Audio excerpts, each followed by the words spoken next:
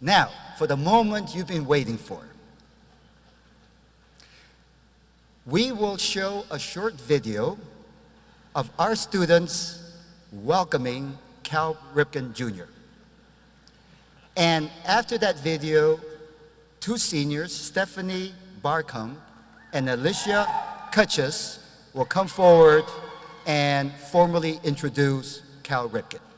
So, somebody operating that video? Roll it.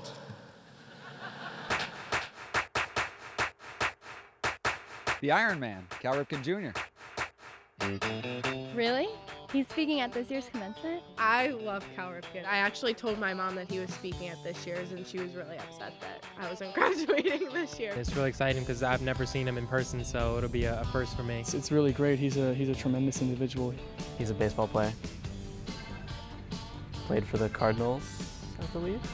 Not many times in your life are you going to be able to hear a baseball legend who played for like 2,800 straight games give your commencement address. It's pretty awesome. He is the hometown hero. Yeah, my dad has all the Wheaties boxes at the house. I had a big poster in my room of Cal Ripken when I was a, a, kid. Everyone's really excited to have him on campus. I'm definitely excited about Cal Ripken being here. Um, he's a Maryland le legend, obviously. He just, you know, represents like the best of Maryland. So I think it's, it's great that he's coming here.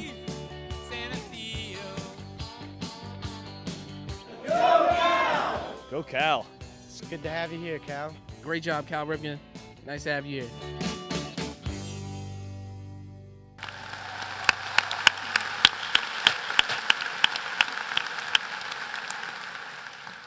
On behalf of the Senior Council and the Commencement Speaker Selection Committee, it is our distinct honor and pleasure to introduce to you our most distinguished guest speaker, Mr. Cal Ripken Jr.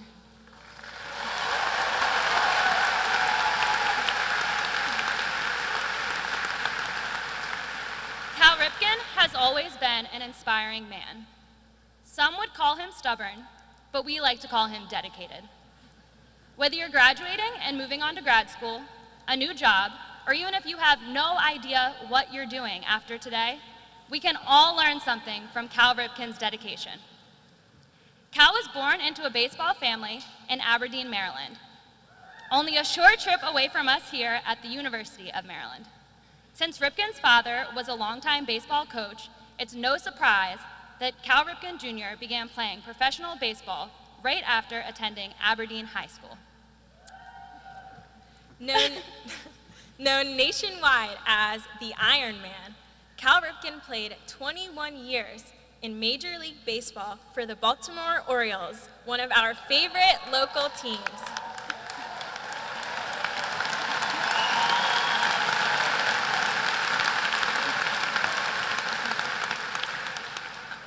Playing as both shortstop and third baseman, Cal Ripken is a 19-time All-Star and twice named an American League Most Valuable Player.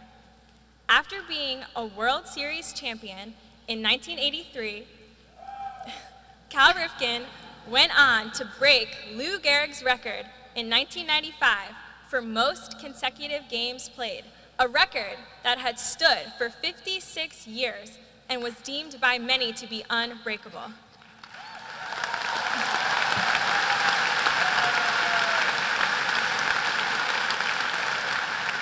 Mr. Ripken ended his playing streak in 1998 after playing 2,632 games.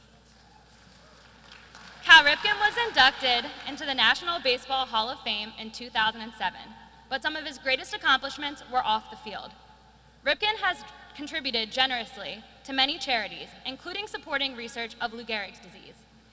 With his brother, he also founded the Cal Ripken Senior Foundation to help support underprivileged children attend baseball camps around the country. Not a baseball fan? You might also recognize Cal as the best-selling author of several children's books.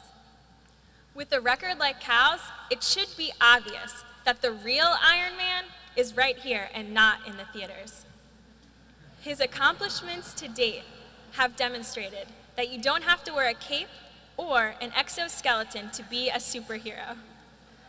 Cal Ripken was selected as this year's commencement speaker because of his dedication to philanthropy, his determination to succeed, and the example that he sets. In 1983, 280 games into his streak, Cal Ripken said, I'd like to be remembered. I'd like to think that someday, two guys will be talking in a bar, and one of them will say something like, Yeah, he's a good shortstop, but he's not as good as old Ripken was. Class of 2013, President Loh, faculty, family, and friends, it is with great honor and pleasure that we introduce the University of Maryland Spring Commencement Speaker, someone who we will always remember, Mr. Cal Ripken, Jr.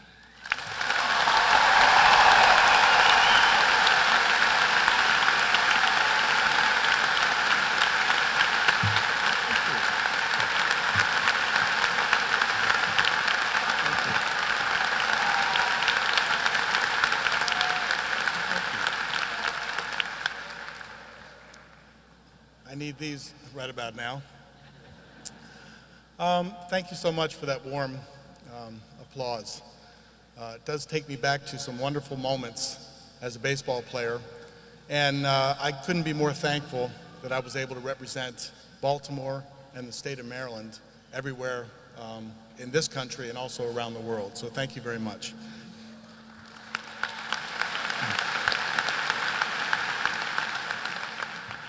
My wife graduated from this fine university, although she will not allow me to reveal the year.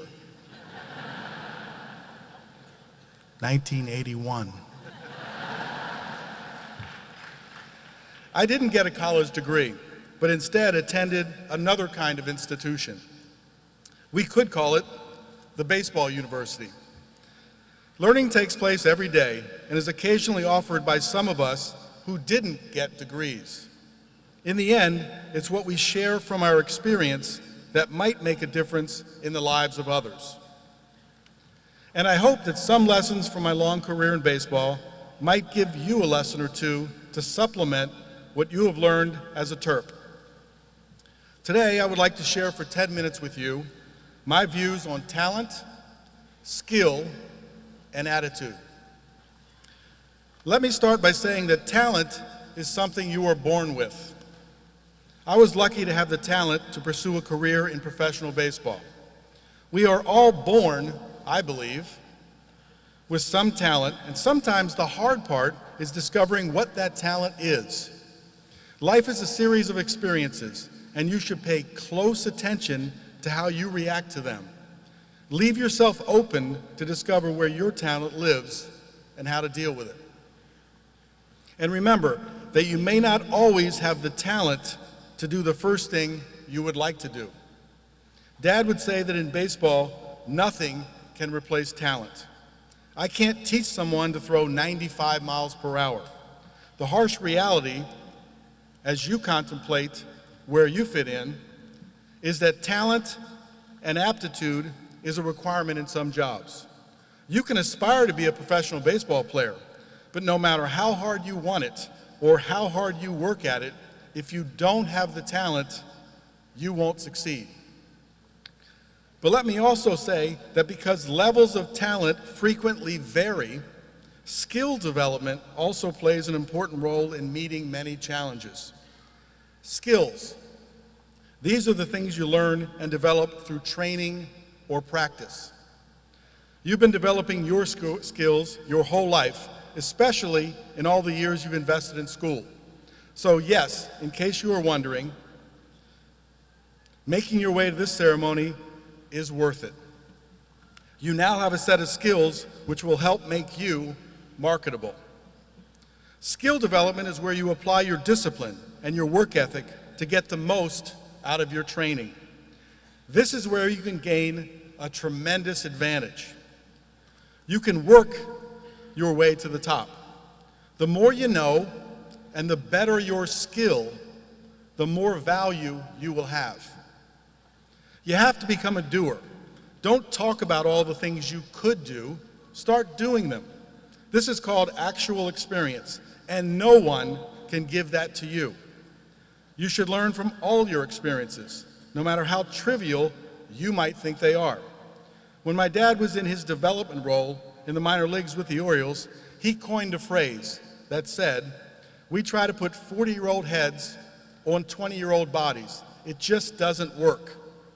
What that meant was that dad and the other coaches tried to implant all the years of their own playing experiences into the young players' heads. But that wisdom can't be simply transferred. It also has to be experienced and earned by each individual. Coaches and teachers like Dad might be able to guide their students to sidestep a few sand traps along the way, but learning also requires you to experience it yourself. Sorry, folks, there are no shortcuts on this one. Now, let me turn to what I consider the key to taking talent and skill to the highest level. Simply, it's attitude. Attitude is all about your outlook, your view of yourself and the world around you. Ask yourself do you have a good or a bad attitude? Are you positive or negative as you approach life's challenges? When I first started playing professional baseball, I quickly dismissed all this attitude talk. I thought it was a waste of time. Frankly, I just didn't get it. I was literally focused on the task of getting better and making it. All that mattered to me was getting my reps in practice and how I did in the games. The games were not contests between two teams, they were my individual exams. If I got three hits and we lost, I was happy. If we won and I went over, I was mad. I was obsessed with my stats. They were my ticket to the show. I couldn't stand the umpires because, from my view, every mistake they made would cost me. I had problems with the official scorekeepers because their decisions cost me hits and added errors to my record. I despised the groundskeepers because the conditions of the field affected my performance. It was my helmet's fault if I didn't get a hit, or my bat, or even the pine tar. My glove failed me if I made an error. Okay, you get the idea. But even with this attitude, I was moving up in the organization. I was improving. I and others rationalized my attitude problems as immaturity. And I kept on going all the way to the big leagues. Then it hit me. In fact, quite literally. I got hit with a 94 mile an hour pitch in the side of my helmet in Baltimore. I was struggling mightily in the early part of my rookie season, and I was miserable. I was blaming others and stalled by my attitude. That shot to the head knocked some sense into me. Earlier in the week, my veteran teammate and all star, Ken Singleton, had pulled me aside and showed me a tape of me throwing a helmet and just said, We don't do that here. That's not what it's all about. That's the wrong attitude. So, after getting beamed and while laying on the x ray table, I started to think more about what Ken said. What's this secret that everyone seems to know but me? Well, the conclusion I came to was that it wasn't all about me, and the world certainly was not my enemy. I realized that I was affected with a negative attitude.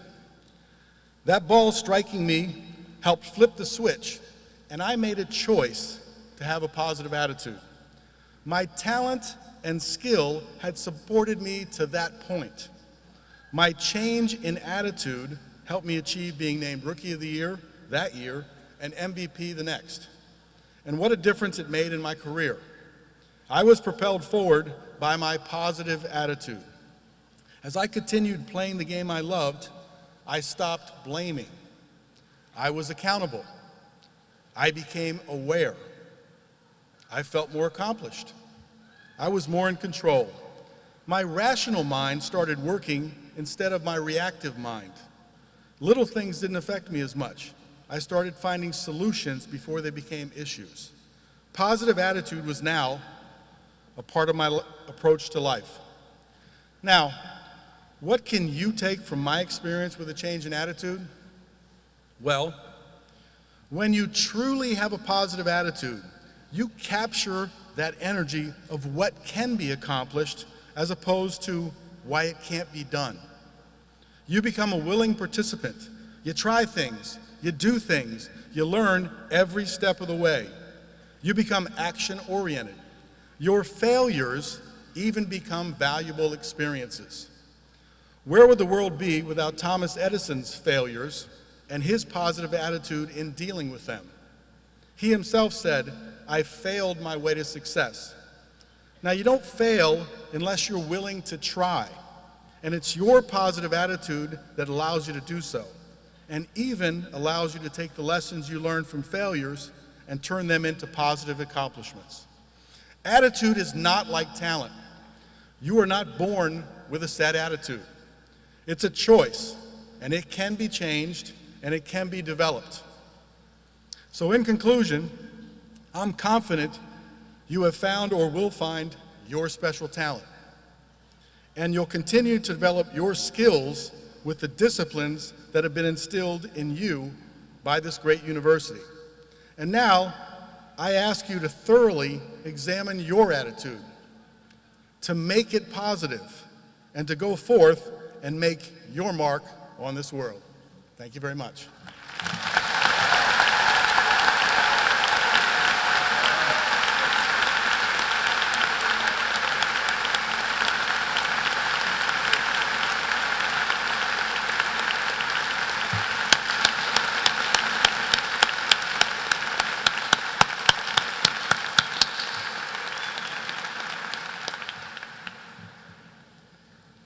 Thank you, Cal, for that very inspirational address. You know, Woody Allen once said, 80% of success is showing up. Cal showed up 21 consecutive years. But the other,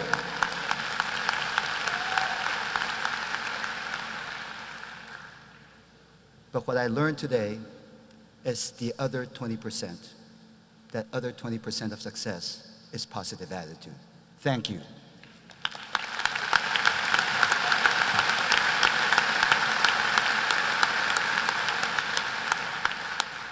Because Cal Ripken exemplifies the qualities of character, values, hard work, and accomplishment that make us all proud, we are very pleased to confer upon him the honorary degree of Doctor of Public Service. Cal, would you please stand?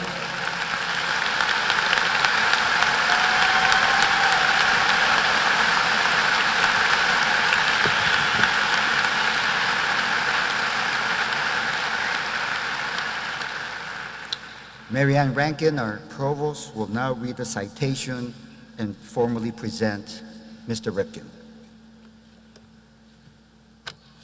for his commitment to an education involving dust, sweat, spikes, and character, for his remarkable perseverance and work ethic, the same qualities that keep the lights burning late on campus, for his 17-year streak of unbroken play, the equivalent of not missing school from kindergarten all the way through college, for his love of learning and teaching, on and off the field, the qualities that inspire faculty to research, publish, and teach 101 level lectures, and for his sense of duty, tradition, and pride, his will to improve the next generation, our future. University of Maryland President Wallace Loh now confers upon Cal Ripken Jr the honorary degree Doctor of Public Service.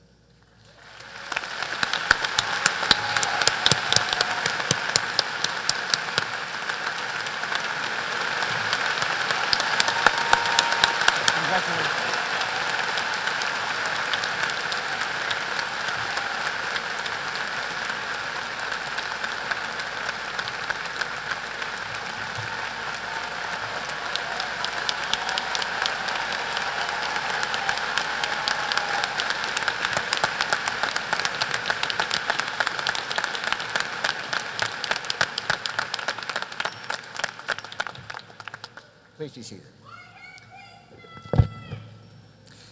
Under the authority granted by the State of Maryland to the Board of Regents of the University System of Maryland, and by the authority that the Board has delegated to me, I am pleased and proud to officially confer upon Carl Ripken Jr. the degree Doctor of Public Service. Congratulations, Dr. Ripken.